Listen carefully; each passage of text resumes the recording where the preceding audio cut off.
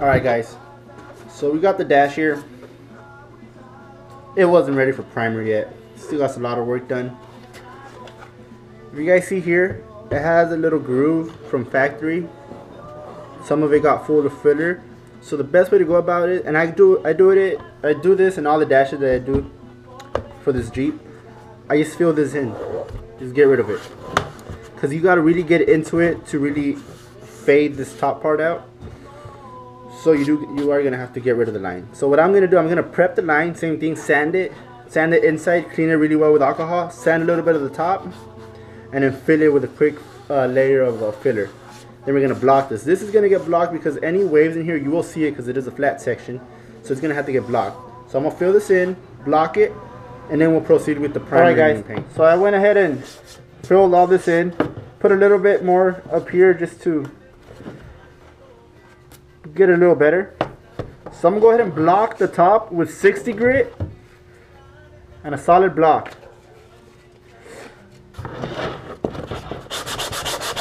When you're blocking, try not to apply too much pressure because you will eliminate the purpose of, of a block. Just kind of just try to go back and forth smoothly. Make sure the block is always on both sides of the of the of the filler so you don't dent it in. It's really nice and slow. It'll take a while, but you'll get it all out. Alright, this thing's body worked. All the lines up here are filled in. It has no more dips. So now we can use our Transtar primer.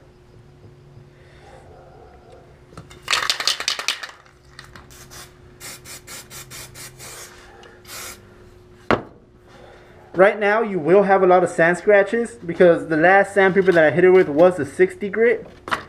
The good thing about this primer is that it lays on thick so it will fill in some scratches. So as soon as this dries, we're going to hit it maybe with a 220 grit, knock off all the rough spots, another layer, 220 it again. Maybe by the third layer, we'll be able to 400, hit it with 400, and it'll be smooth. One more layer, color sand it, and then we're going to spray it black. The primer's nice, it's on there, it's dried up. Now we're going to get 220. My sandpaper drawer.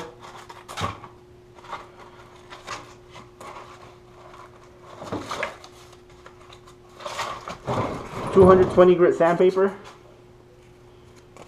And you hit it all again till it's all pretty smooth. It's okay to go through the primer and kind of knock off some high spots if you have any of the of the bondo. Um, this is when you're really going to start seeing things because as soon as you sand the primer, it turns into a darker shade of gray. So if there's light, uh, if there's darker gray under it, that means that that spot is a low spot since you're sanding and you're not touching it. So that's when you're going to really find out what needs more detail. Wipe it off with some alcohol.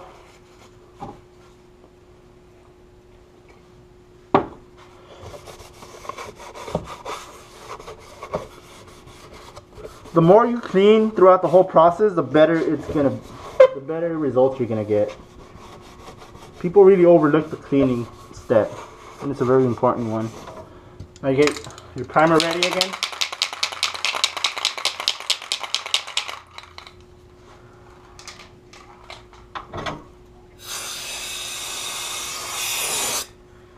And you spray it again. What's up guys? So I'm back I had to get dressed I had to go to church I had to take a little church break I had to pray to God this dash comes out pretty good Cause I'm kind of, it's looking kind of scary. Nah, I'm kidding, it's looking good.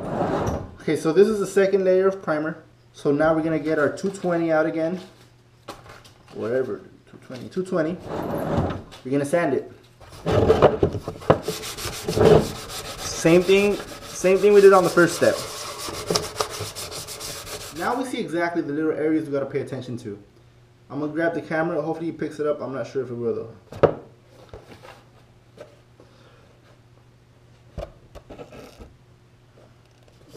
right here, this area right here has uh, some major scratches that we can fill it in with primer, but we're just to be wasting primer. We can address that specific area. with something like this.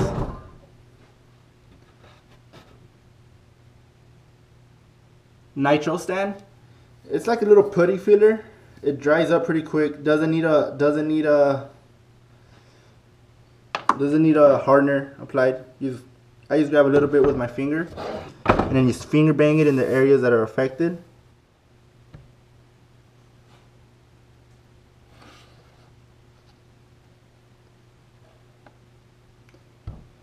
And just in case you guys don't know how the side slider kit works, there's a connector here. I glue it in once it's all done.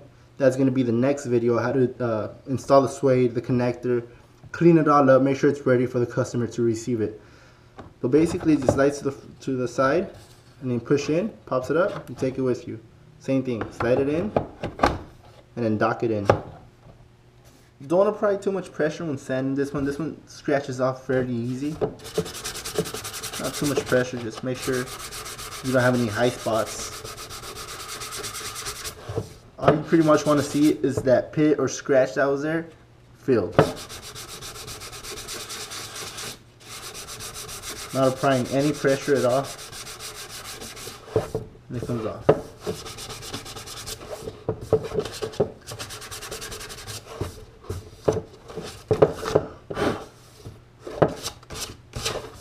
Right there we had a pit hole.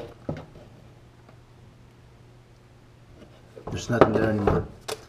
We don't have shit no more. All the putty is sanded. All the filler sanded. I don't see any more pits or scratches.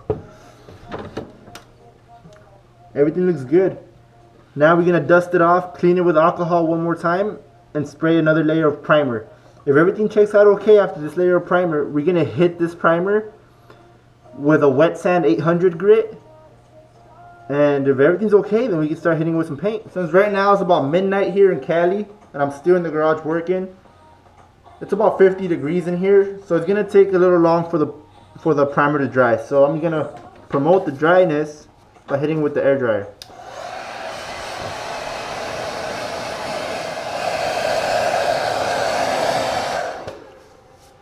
This is a very handy tool when it comes to painting and I'm to show you guys why in a, in a little bit. I think we got it where we want it. So I think it's just about ready for paint. It's looking really good. This area got a little bit of overspray, a little dirty. We're gonna give it a quick, we're gonna sand this part down with the 1000 grit now. And then we're gonna scuff this one up a little bit too, and then clean it all up with alcohol and spray the whole thing evenly so the so the paint matches. So I get my sandpaper.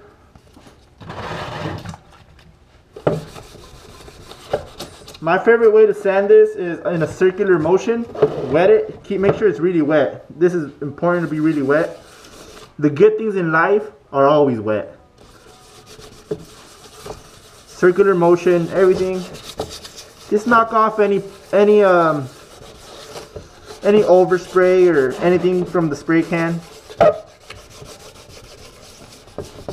And you're also sanding it so the paint can stick. Same thing. Back to basics. Er erase the tape lines.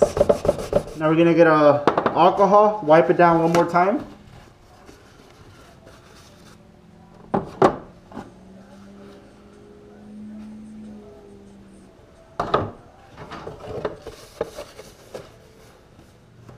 That's pretty much ready for paint. All right, let's talk about paint.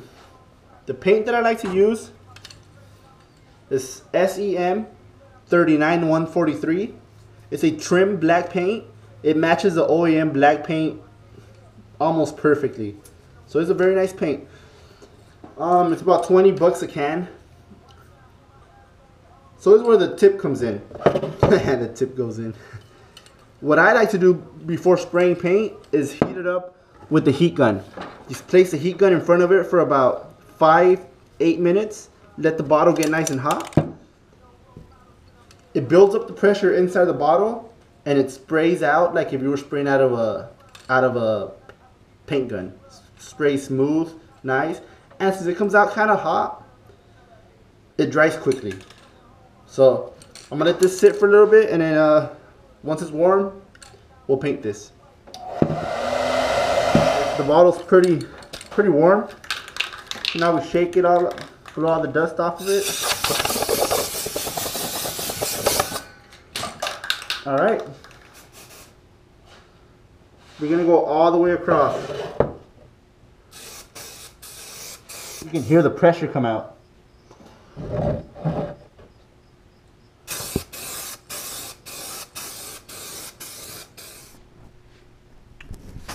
Alright guys, here's our dash after our paint job. Check it out.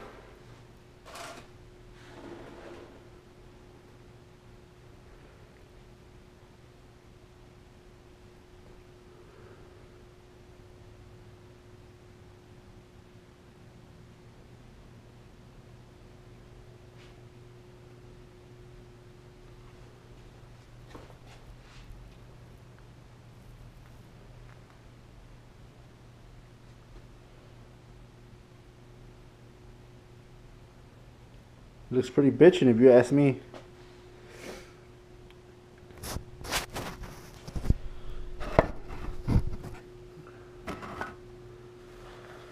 So, we got the dash painted. Showed you guys some tips on how to paint them. Um, is it done? No. I don't think it is. I'm gonna really inspect it tomorrow. I already take my time inspecting them, making sure there's no defects on them before shipping them out because customers do pay a good amount of money for them, so you do have to be perfect. Um, so tomorrow I'm gonna detail it. If there's any any minor scratch or any any minor anything, it's gonna get fixed. And then tomorrow I'm also gonna show you guys how to glue in the connector so it can charge the iPad. I'm gonna show you guys how to glue in the suede so the back can be all nice when the iPad is removed. But as far as how to prep it for paint, how to how to get to this to the but as far as getting it to painting, we pretty much covered everything that there is to it. I hope you guys learned something from it and uh, let me know if you guys have any questions. Thanks for watching again.